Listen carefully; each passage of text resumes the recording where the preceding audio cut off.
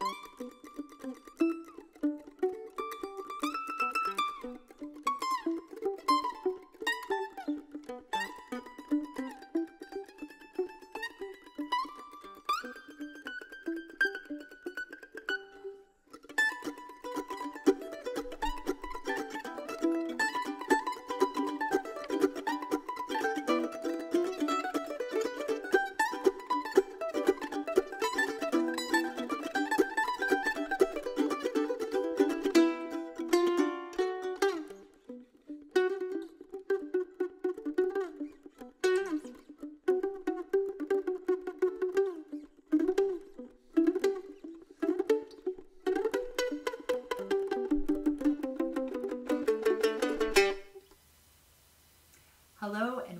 back to the channel, heart friends and fellow students of the Great Mystery.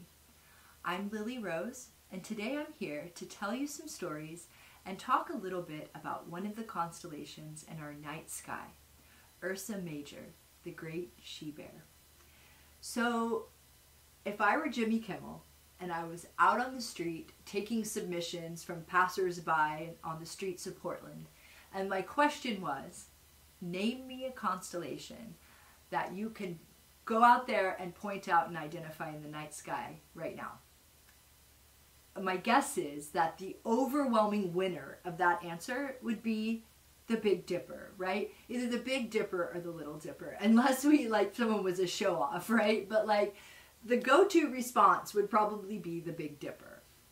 And the reason for this, although there there may be a few, one of the reasons for this is because the Big Dipper and the Little Dipper, along with a handful of constellations, Draco, Cepheus, Cassiopeia, these are the circumpolar constellations. And what that means is that um, they rotate around the fixed point of Polaris, the North Star, right? Well, actually, the entire uh, firmament rotates around Polaris, right? But the circumpolar constellations are arranged such uh, that their positioning in the starry firmament never dips below the horizon. So that no matter the time of year, they're always visible in our night sky.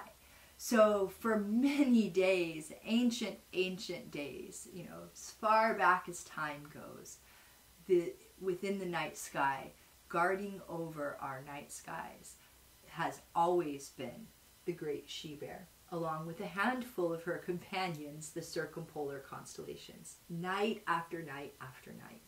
And so, um, you know, definitely probably the most famous constellation. And you can see the seven stars here in, in Ursa Major. These are the Big Dipper. And the North Star Polaris is part of Ursa Minor, which is the, and part of the Little Dipper. It's actually the tip of his tail. Okay?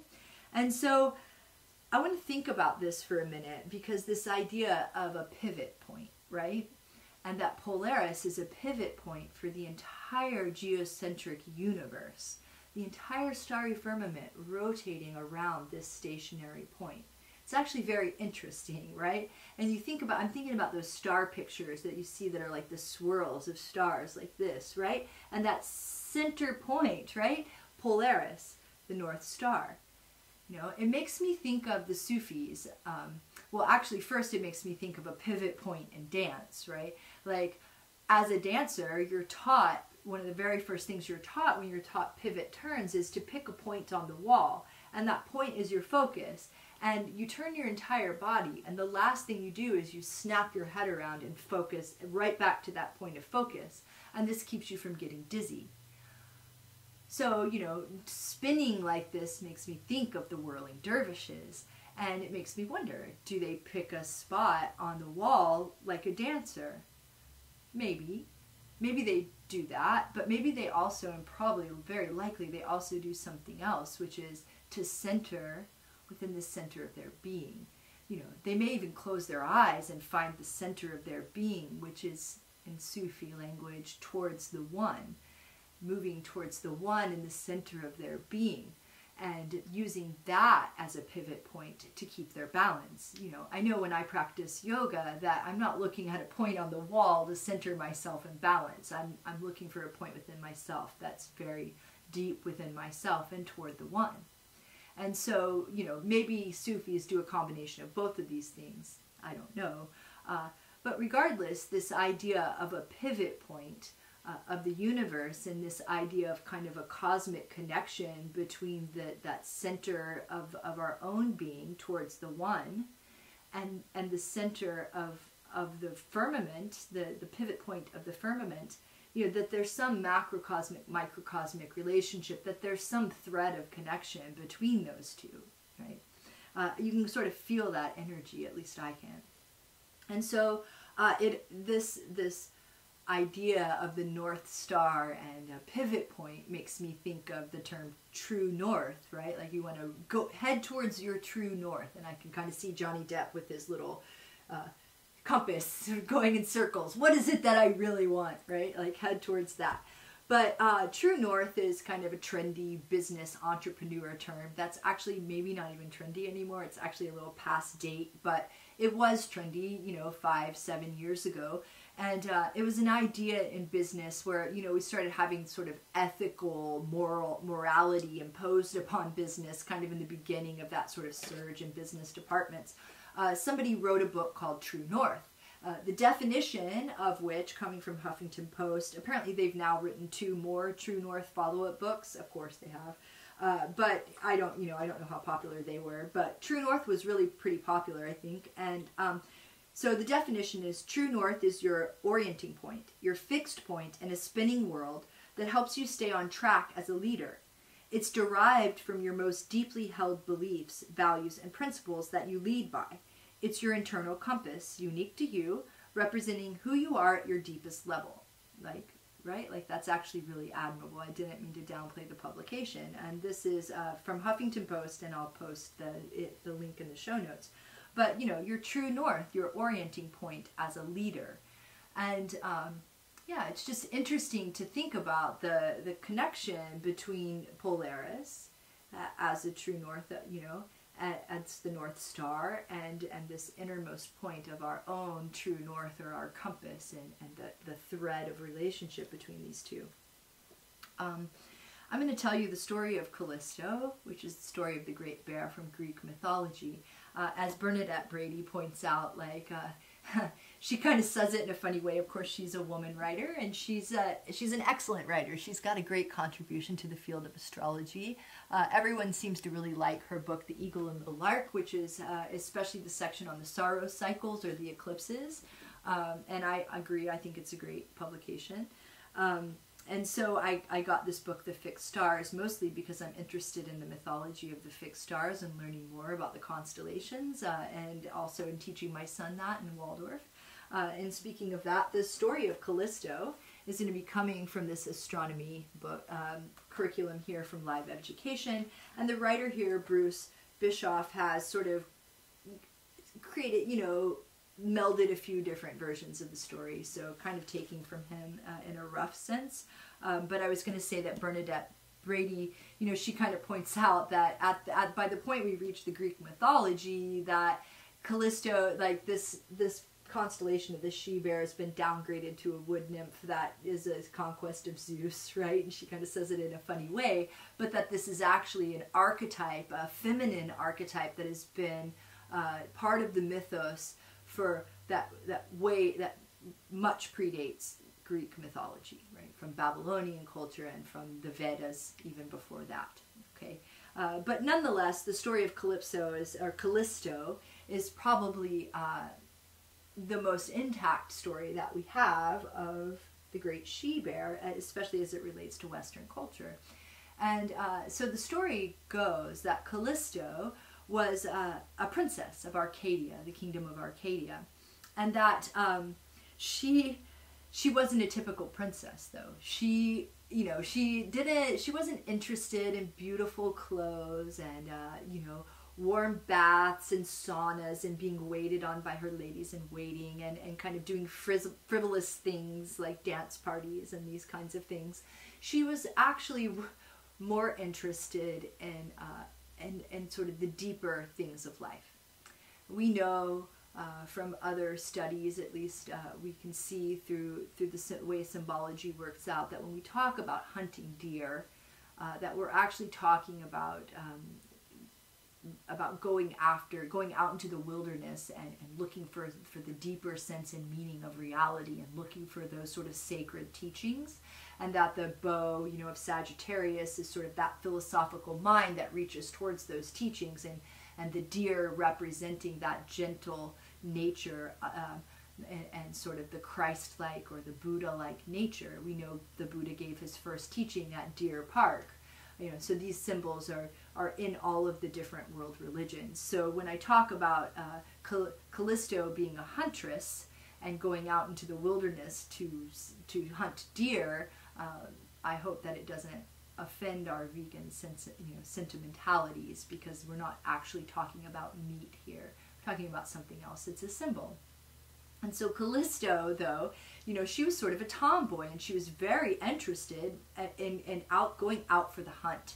She loved the adventure of it and she loved going out in the wilderness and, and getting herself dirty and looking, doing something more fulfilling and meaningful to her than uh, dressing up pretty and uh, smiling and, and entertaining courtiers, etc.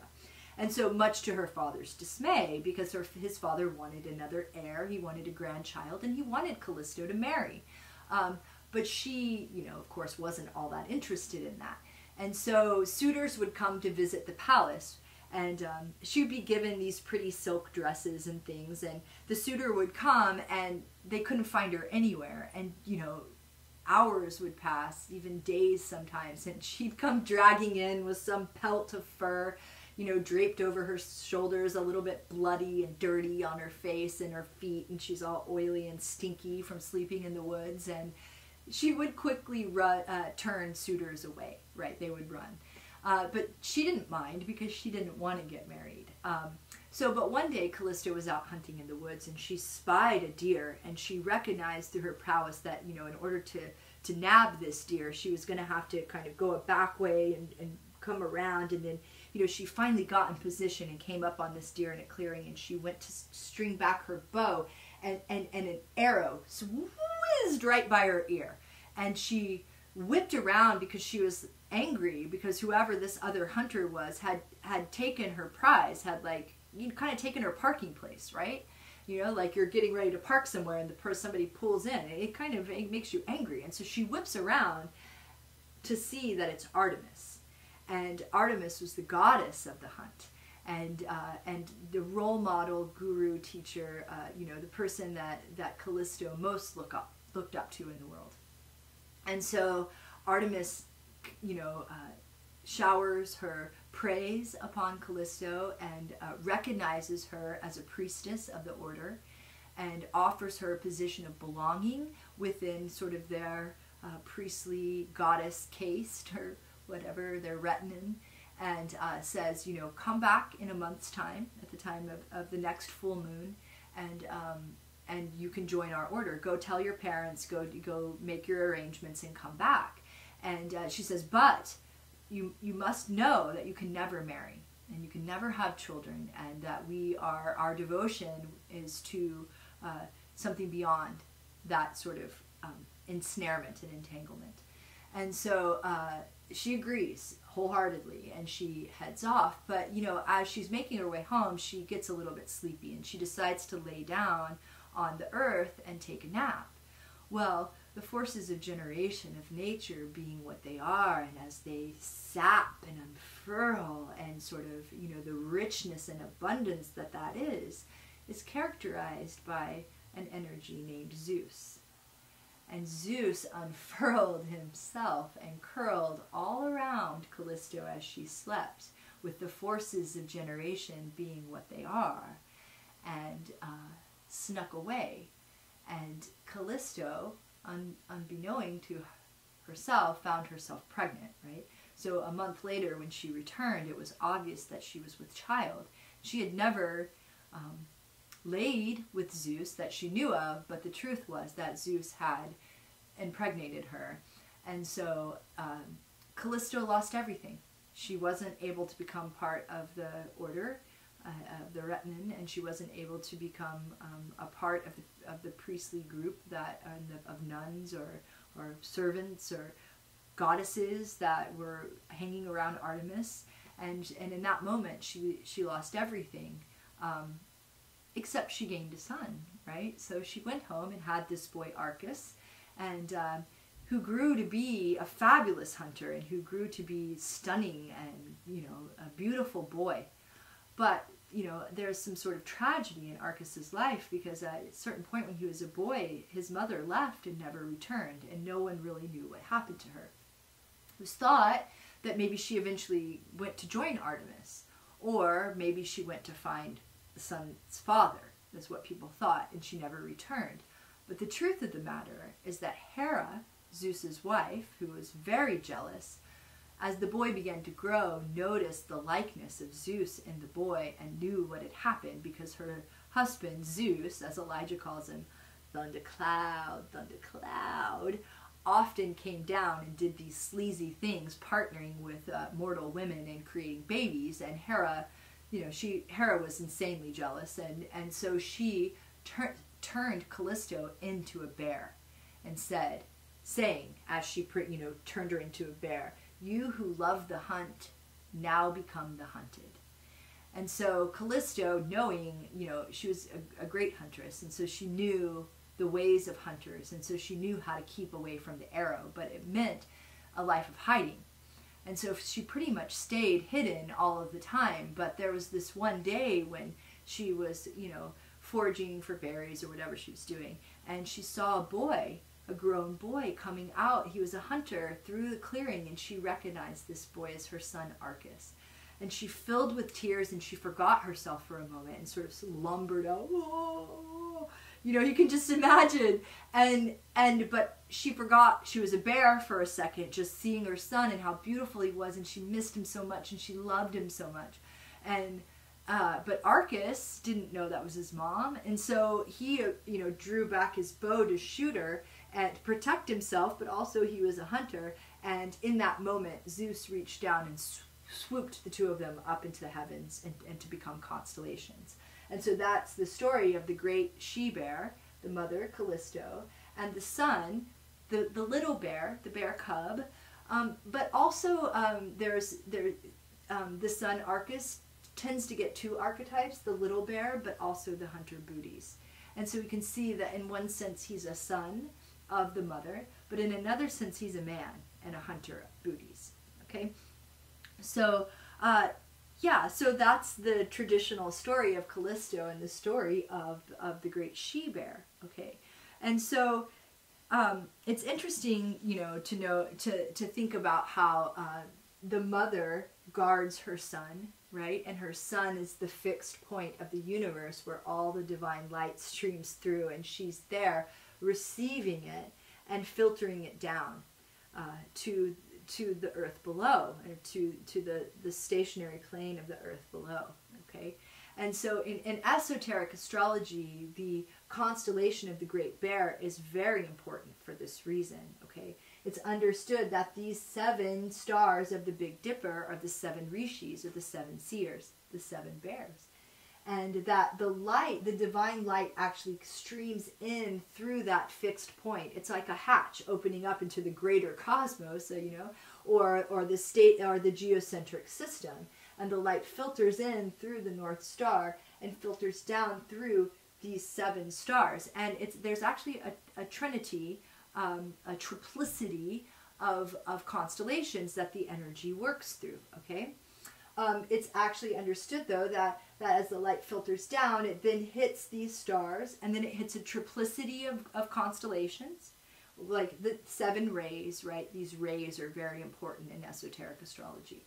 And that hits a triplicity of constellations, and then it hits a triplicity of planets, okay? So the energy, you know, is, is splintered in, in, in a couple different ways as it makes its progression, right? Um, and so and I, that makes me think of a triplicity of consonants, of, of zodiac, zodiacal uh, constellations. Um, and then it makes me think of, of a triplicity of vowels, you know, so we begin to see spells and words in gematria and uh, things coming into being in this way, right? So that the, that the physical arising actually is happening in this way, filtering in this way from the North Star through the seven rishis of the Great Bear and through these triplicities into the arising.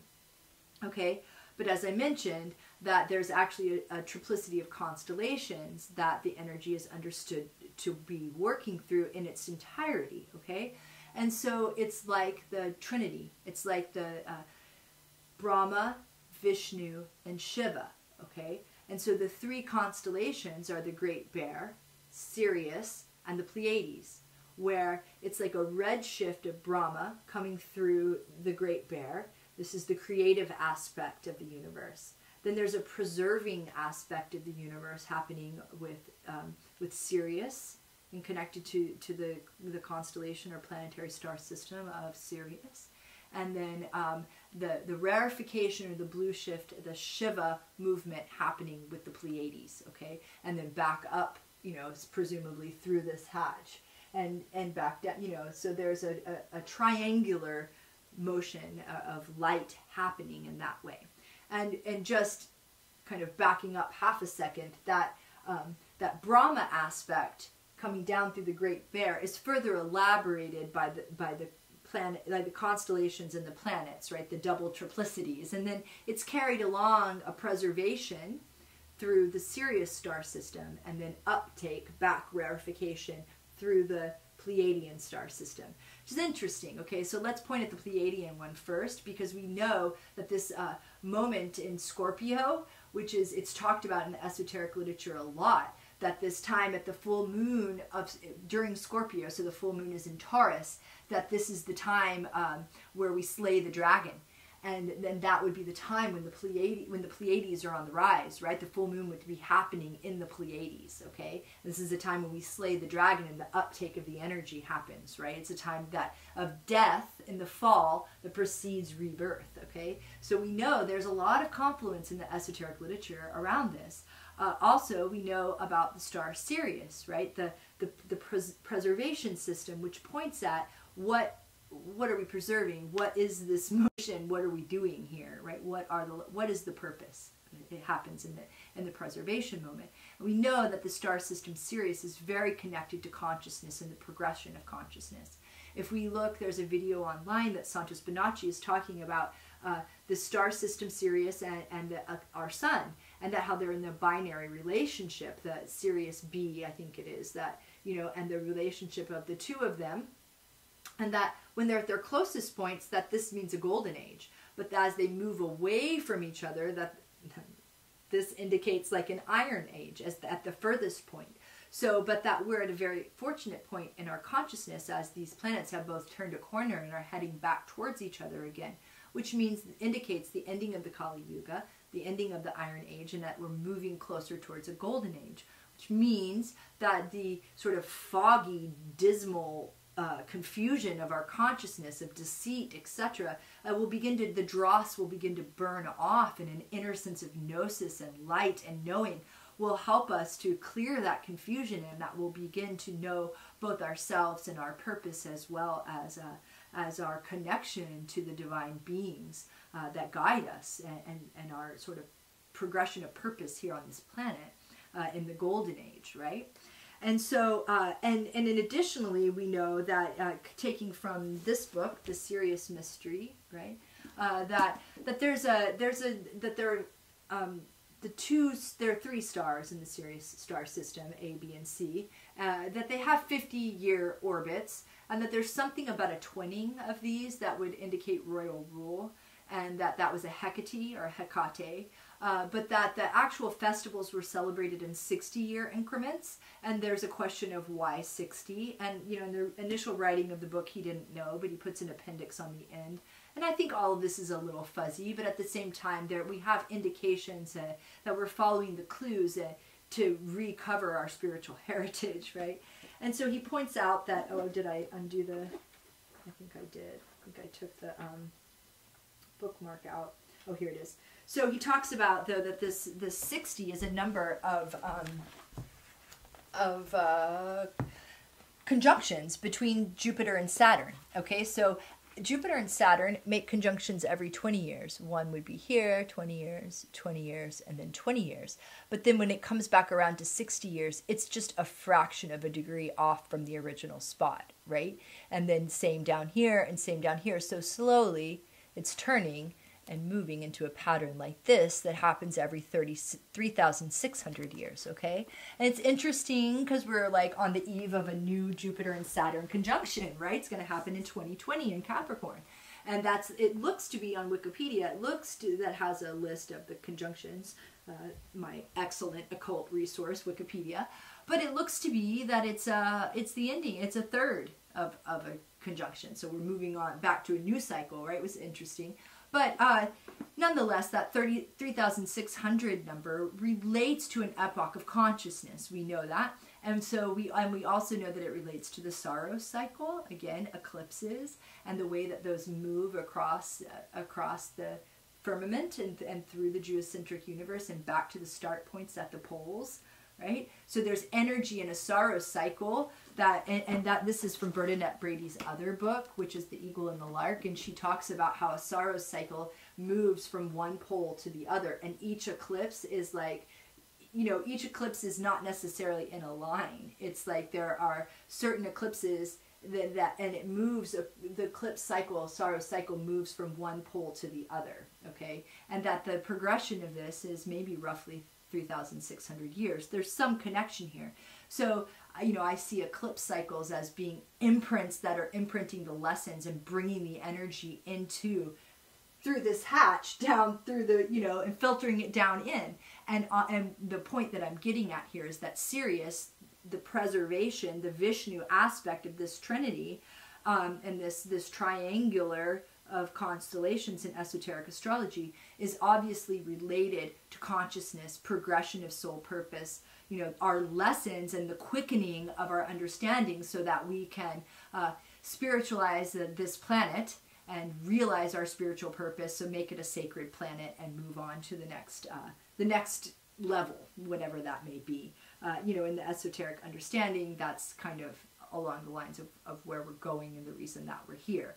Uh, that, that we're intimately connected with the number, like a hierarchy of beings, all at different levels of spiritual progression, uh, some planets are sacred planets. They've already made the leap, right? But some are not. And so, you know, we're all sort of on a level of, of, of evolution, spiritual evolution or soul progression, right? And so we can see with Sirius that that's what's going on here, that that's, that's the, the common thread that of, of the preservation, what we're working towards. Then the uptake of the energy happens through the Pleiades in the fall with the, uh, you know, um, Scorpion biting the leg of Orion, etc. And so it's just very interesting. It's interesting to note how these constellations have been talked about in, in, in, antiquity and, and how, how this energetics is working and relating in esoteric science and in, um, in the occult literature. Okay, um, but but most interesting of all, I think you know, is the fact that um, Okay, and so I'm going to point at it from this from this angle, which is very. Did I bring that? Oh, I did bring this book in. Okay, so there's this book here called Crispin, and Elijah. And I did not expect this book to be good. I expected it to be horrible, and Elijah and I to be Elijah to like groan when I was reading it to him. It's because we're studying the Middle Ages right now, and it's a, it's a set in the Middle Ages. But this book is a page turner for sure. It's like a murder mystery, and it's like was really good. Um, but it has nothing to do with Earth, Ursa Major, except for that it does, because um, one of the characters in here is named Bear. And he seems in the beginning like he's going to be a bad character, but I looked at Elijah and I was like, because ah. we keep having all these synchronicities around bears and and Ursa Major and the she bear, which is why I I was urged to make this video, right? And I was like, Elijah, I bet you anything he turns out to be a, a, mothering character to this to this child. That he turns out to be a good guy, and that's exactly the way that it went. And that's because the great bear is understood to be the protector of this of her child, this North Star, right? And so the additional sort of the last piece of kind of information that we need here is that we ran across this video and Elijah was saying the night before. I mean, the way things work out, you know, like synchronicity it's my favorite because that's how i know that i'm on the path and that's how i know that the great spirit's talking to me and leading me towards certain revelations and understandings. But the night before elijah goes to my mom and i who's the king of the jungle? And like he really didn't know. I can't remember how he said it but it was just like who's the mightiest animal? And we, my mom and i were both like huh duh it's the lion right? Like everybody knows that. The lion's the king of the jungle. Okay, end of conversation.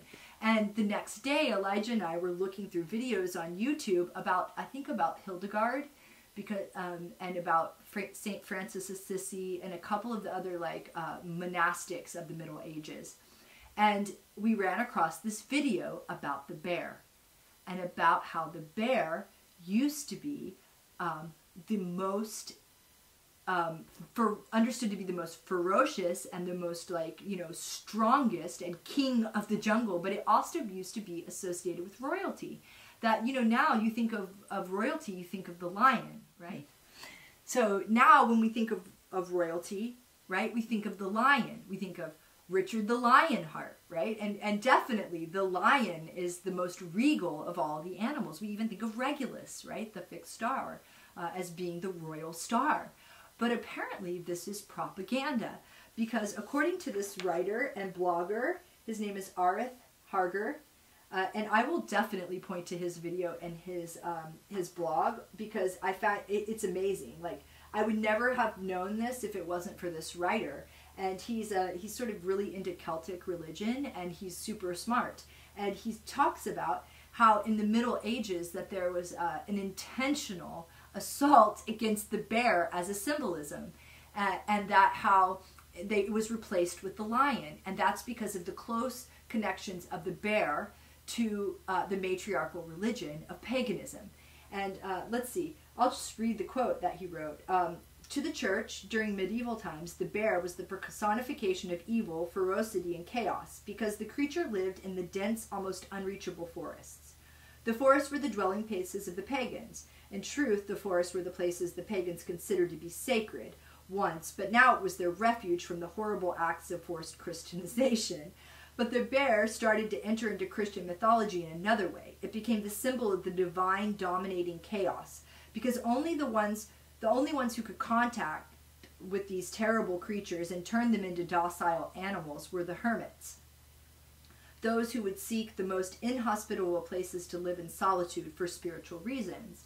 Only through their faith and connection with the divine power of God could they do such a thing, turning the ferocious beast into a docile companion. Thus, the bear became the symbol of the victory of the divine over chaos. Well, and he also brings up the fact that it becomes uh, that it used to be the symbol of um, of royalty, the bear. And it's interesting because as part of our like medieval studies, we're also reading uh, King Arthur and the Knights of the Round Table, and also the Parsifal stories, which you know Arthur, Arthur means bear, okay? And so King Arthur is not really, was not really a king of, of England, right? Like this is a, a legend. Uh, but Arthur is set up as, um, as, the, as, the, as the matriarchal king, okay? He's given his power by the Lady of the Lake. Uh, sort of coming out of the lotus flower and handing him his sword. And he and the Knights of the Round Table are understood to be the protectors of the matriarchal religion which is in contrast to the patriarchal religion of the lion, um, of the of the forced Christianization. So you know, there's something happening here where you know they're they're they're doing these crusades and they're burning all the heretics at the stake, but they and anyone who's a pagan and opposes this forced Christianization. But they're going so far as to like change the symbolism and make the bear um, public enemy number one you know, just, you know, for lack of a better term. So it's just very interesting because the, the point is, is that no matter how they, the, the church and the, and the, the patriarchal religion and, and the, the, the greed of kings looking for power and dominion try to wipe away our spiritual heritage. They try to wipe away these things from our consciousness that, that are so important to our, to our psyche, right? They try to wipe these things away. But at the same time, like, they're they can't really wipe it away. The, the understanding of the great bear, the great she bear guarding this entrance point is is not it's it's written in the sky. It's not something that we can that we can hide away. And so that's why astrology and astronomy become so important because the things of the earth, the material things that we find can be corrupted, they can be changed. You know, they're, they're intentionally changing this dense physical uh, evidence that we find, this scientific materialism, that we need to rely on a more numinous and a more light um, way of seeking knowledge, and it's there right before our plain eyes. The great bear guarding the entrance point for the divine light as it comes into the geocentric system. Okay? And I'm, I'm, I'm going to end by, by telling you one more thing that relates to the Jupiter and, and Saturn conjunctions, right? Of Sirius, that's like the point of, of what we're doing here, the, the preservation aspect, the Vishnu aspect of the arising. And that is that, okay, so this is the mother and this is the child, right? And so the understanding is that the Jupiter conjunction with Saturn is the castration of Saturn. And we know that the, in the mythology, that first uh, Uranus is castrated by Kronos, and then Kronos, Saturn, is castrated by Jupiter, right?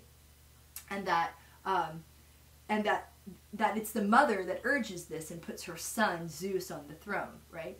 But in a deeper sense, in a more matriarchal sense, that's still sort of a patriarchal take in the, in the, in the Greek religions. But we also know that, you know, Osiris was also castrated and that his son Horus was made from the castrated um, parts, and that Isis, Isis, the great she bear, put her son Horus, or the Christ figure, Mary and Christ, on, you know, as the pivot point of the universe and that she guards this entry point and exit point you know of of the entire arising okay? And so in this way uh, we can see that that connected through our mythology and um, through what the visible uh, evidence in our night sky and our connection to the the cosmic realms of light that we can see the real story and the true story of um, of our spiritual heritage, uh, but also of sort of like the point of what we're doing here, right? Which is this uh, progression of consciousness, and and and you know, we can see the true religion, right? We can see the true religious teachings. Uh, which are not that which is preserved in the Bible, where they're like intentionally replacing animals I'm not looking at the I'm not looking at a lion guarding this North Star, her son. I'm looking at the great she bear uh, guarding her son, the little bear. So I think that's all I want to say for today. So uh, thanks for being here. Please do like and subscribe. Um, I appreciate you taking the time to watch this video. I hope that you got something out of it and uh, Hopefully you learned something. I look forward to hearing and uh, receiving and appreciating your comments. And um, yeah, thanks for being here. Be a good family. Find the others. Be kind. and I'm adding a new one. Play your note. I love you guys. Bye. Take care.